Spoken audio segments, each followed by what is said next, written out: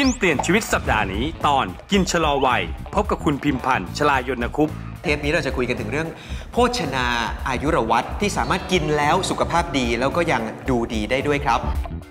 เมนูวันนี้นะครับช่วยชะลอวัยชะลอวัย เพิ่มความอ่อนเยาว์ให้กับผิวหน้า